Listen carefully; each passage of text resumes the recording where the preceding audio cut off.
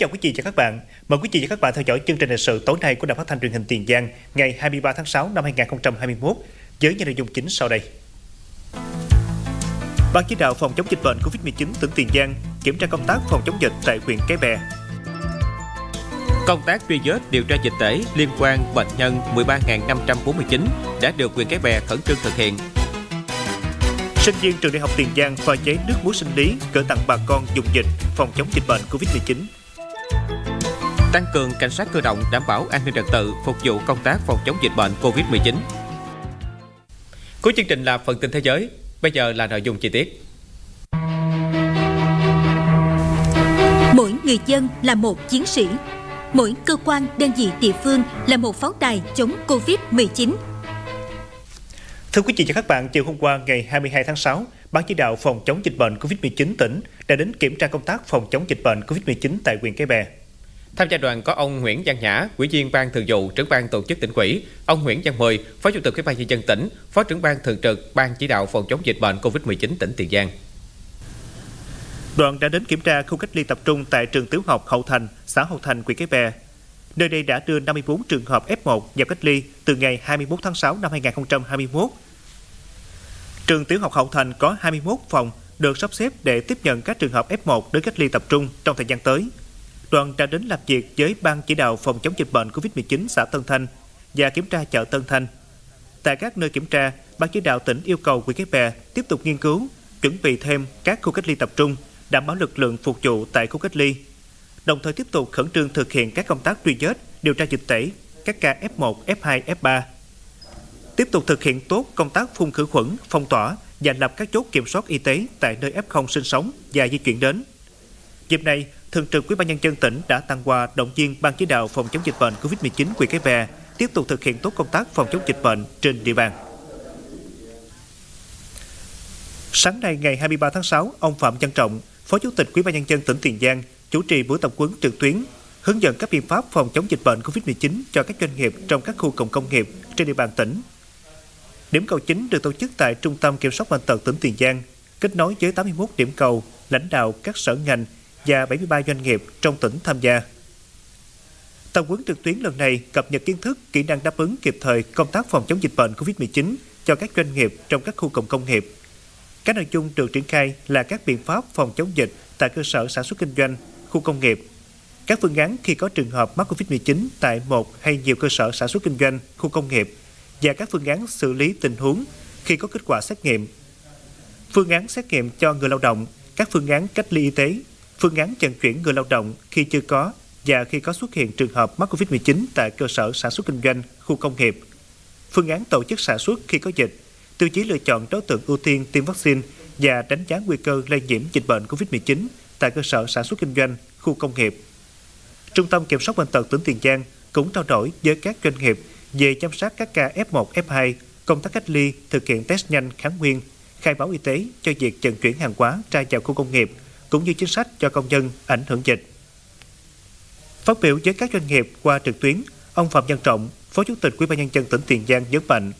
ban quản lý các khu công nghiệp, ngành y tế và các cơ quan chức năng phối hợp chặt chẽ cùng các doanh nghiệp siết chặt hơn nữa các biện pháp phòng chống dịch bệnh COVID-19 trong công nhân lao động, tích cực phòng ngừa, phát hiện sớm, xử lý và cách ly nhanh. Lưu ý số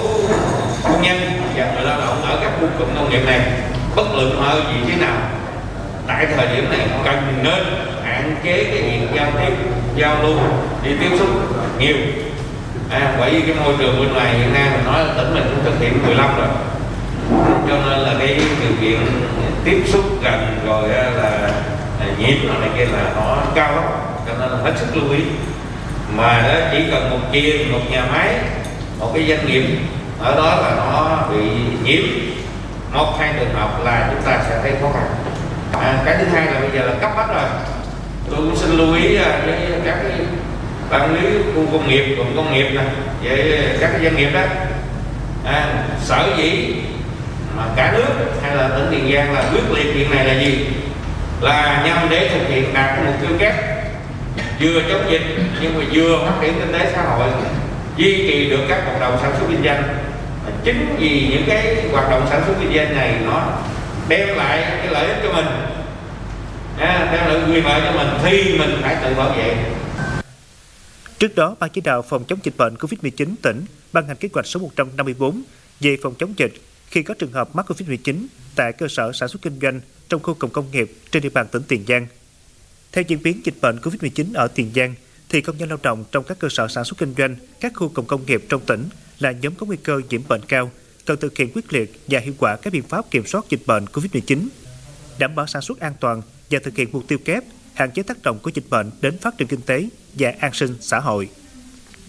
Bộ Y tế vừa công bố 5 bệnh nhân mắc mới COVID-19 của tỉnh Tiền Giang. Theo thông tin của Sở Y tế tỉnh Tiền Giang, đó là các bệnh nhân 13.557, 13.560, 13.564, 13.565 và 13.567. Cả năm bệnh nhân mắc mới này là F1 trong khu cách ly tập trung, khu vực phong tỏa trước đó và đã được chuyển đến cách ly điều trị tại Bệnh viện Gia Chiến Lao và Bệnh Phổi tỉnh. Tính đến sáng ngày 23 tháng 6, Tiền Giang có 7 ổ dịch với tổng cộng 51 bệnh nhân trong cộng đồng. Cũng theo thông tin của Sở Y tế tỉnh Tiền Giang, từ ngày 16 tháng 6 năm 2021 đến nay, Tiền Giang không phát sinh ổ dịch mới. Để tăng cường hơn nữa các biện pháp phòng chống dịch bệnh COVID-19 đối với người về từ vùng dịch, Ủy ban nhân dân tỉnh Tiền Giang đã có công văn số 3096. Theo đó, từ ngày 21 tháng 6 năm 2021, những người về từ vùng dịch phải thực hiện cách ly theo dõi sức khỏe tại nhà 21 ngày, lấy mẫu test nhanh kháng nguyên SARS-CoV-2 hoặc xét nghiệm PCR tự trả phí. Những người về từ các nơi khu vực đang bị phong tỏa phải thực hiện cách ly y tế tập trung 21 ngày tại cơ sở cách ly tập trung và lấy mẫu xét nghiệm PCR. Toàn bộ chi phí cách ly tập trung và xét nghiệm sẽ do người được cách ly chi trả. Như thông tin chúng tôi đã đưa, huyện Cái Bè đã ghi nhận thêm một ca nghi nhiễm COVID-19. Vào ngày 22 tháng 6, Bộ Y tế đã công bố bệnh nhân 13.549 ghi nhận tại tỉnh Vĩnh Long là người dân ngụ ấp 1 xã Tân Thanh, huyện Cái Bè, tỉnh Tiền Giang. Ngay khi nhận được thông tin, đội đáp ứng nhanh của Trung tâm Y tế Cái Bè phối hợp với công an quyền xã, trạm y tế xã Tân Thanh đã điều tra xác minh, xác định có 14 trường hợp F1, 72 trường hợp F2 sẽ tiếp tục truy vết F2 và F3 để cách ly tại nhà, theo dõi sức khỏe. Từ ngày 14 tháng 6 đến khi phát hiện bị nhiễm Covid-19, bệnh nhân 13.549 đã đi đến nhiều địa điểm trong người tại xã Tân Thanh, huyện Cái Bè, như nhiều lần đi chợ xã Tân Thanh, đến nhà một hộ dân ấp 1, xã Tân Hưng, nhờ chồng và con trai đến mua thuốc tại hai tiệm thuốc Tây gần nhà. Được con trai chở đi khám bệnh tại phòng khám tư ở xã An Thái Trung và phòng khám đa khoa An Thái Trung. Sau khi đến khám tại bệnh viện đa khoa Xuyên Á tỉnh Vĩnh Long thì được test nhanh và làm xét nghiệm RT-PCR cho kết quả dương tính. Các trường hợp F1 đã đưa đi cách ly tập trung tại điểm trường Trung học cơ sở Phan Văn Ba, xã An Cư, huyện Cái Bè. Công tác truy vết điều tra dịch tễ đã được huyện Cái Bè khẩn trương thực hiện. Hôm qua ngày 22 tháng 6, Liên đoàn Lao động tỉnh Tiền Giang đã tổ chức đoàn đến thăm và tặng quà cho các cán bộ chiến sĩ và đội ngũ y tế đang làm nhiệm vụ tại 4 khu cách ly và hai bệnh viện giả chiến trên địa bàn tỉnh Tiền Giang. Đến thăm và tặng quà cho các đơn vị, ông Lê Minh Hùng, Chủ tịch Liên đoàn Lao động tỉnh Tiền Giang đã chia sẻ những khó khăn gian khổ của các cán bộ chiến sĩ và đội ngũ thầy thuốc đang làm nhiệm vụ tuyến đầu phòng chống dịch bệnh COVID-19 trên địa bàn tỉnh. Ông cũng mong muốn các thành viên luôn giữ vững tinh thần, giữ gìn sức khỏe và hết sức thận trọng, tránh bị lây nhiễm, đảm bảo sức chiến đấu trong mặt trận phòng chống dịch bệnh COVID-19 còn dài. Thay mặt đoàn, ông cũng gửi tặng mỗi đơn vị một phần quà gồm mì gói và 10 triệu đồng tiền mặt. Riêng khu cách ly tiểu đoàn ấp Bắc được hỗ trợ 20 triệu đồng do khu cách ly này có số lượng đông. Tổng kinh phí cho đợt tặng quà lần này là trên 70 triệu đồng, được trích từ nguồn kinh phí hoạt động của công đoàn tỉnh. Chung tay cùng chính quyền địa phương phòng chống dịch Covid-19, ngày 21 tháng 6, Đại đức Thích Minh Phước trụ trì niệm Phật đường liên qua xã Xuân Trong, huyện Chợ Gạo đã có chuyến thăm hỏi tặng quà cho bà con bán vé số, những người gặp khó khăn trên địa bàn huyện Chợ Gạo trong thời gian giãn cách xã hội vì đại dịch Covid-19. Đoàn đã đến thăm hỏi động viên và tặng 1.000 phần quà cho bà con ở các xã Lương Hòa Lạc, Quân Long, Bình Ninh, thị trấn Chợ cào, Hòa Định, Xuân đông. Các địa phương đã sắp xếp chu đáo cho bà con đến nhận quà, đảm bảo nguyên tắc 5K phòng chống dịch Covid-19. Mỗi phần quà là 300.000 đồng tiền mặt, tổng kinh phí 300 triệu đồng do quý Phật tử, các nhà hảo tâm trong và ngoài tỉnh đóng góp giúp bà con giảm bớt khó khăn trong cơn đại dịch này. Nhằm kịp thời hỗ trợ công tác phòng chống dịch bệnh COVID-19, sáng nay ngày 23 tháng 6, Đoàn thiện nguyện của Ni Viện tỉnh Kim, thành phố Mỹ Tho, tỉnh Tiền Giang tổ chức chương trình trao tặng nhu yếu phẩm cho người dân khó khăn do bị ảnh hưởng bởi dịch bệnh COVID-19 tại ấp Mỹ Hội, xã Mỹ Hình Đông, thị xã Cà Lậy. Đoàn đã vận chuyển 200 phần nhu yếu phẩm bao gồm gạo, mì gói, rau củ quả, nước tương, nước uống bằng xe tải tới thị xã Cà Lậy. Sau đó, chính quyền thị xã Cà Lậy cho xe tiếp tục vận chuyển các nhu yếu phẩm này tới dùng dịch tại ấp Mỹ Hội, xã Mỹ Hành Đông. Trong dịp này, đoàn cũng vận chuyển nước uống đến các chốt kiểm dịch tại xã Mỹ Hành Đông, thị xã Cai Lậy. Tổng trị giá các phần nhu yếu phẩm lần này